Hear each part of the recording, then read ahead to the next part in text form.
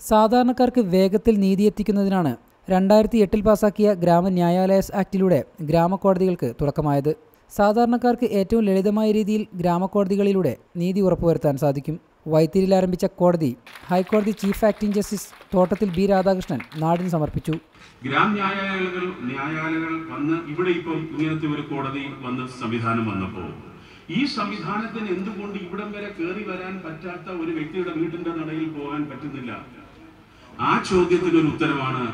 ഒരു വാഹനം തരാമെങ്കിൽ തീർച്ചയായിട്ടും പോകാം. അതിനുള്ള സംവിധാനം സംസ്ഥാന സർക്കാർ ഏറ്റെടുക്കണം. ചടങ്ങിൽ Kalpetta M L A C K Saseendran സന്നിഹിതനായിരുന്നു. ഗ്രാമകോടതിക്ക് അനുബന്ധമായി വേണ്ട മൊബൈൽ കോടതിക്ക് ആവശ്യമായ വാഹനത്തിന് ഫണ്ട് അനുവദിക്കുമെന്ന് ചടങ്ങിൽ പങ്കെടുത്തുകൊണ്ട് അദ്ദേഹം പറഞ്ഞു. വൈത്തിരി പോലീസ് സ്റ്റേഷന് സമീപത്താണ് പുതിയ ഗ്രാമകോടതി ഹൈക്കോടതി ജസ്റ്റിസ് ബാബു മാത്യു പി ജോസഫ് ചടങ്ങിൽ അധ്യക്ഷത വഹിച്ചു. റിപ്പോർട്ടർ വയനാട്.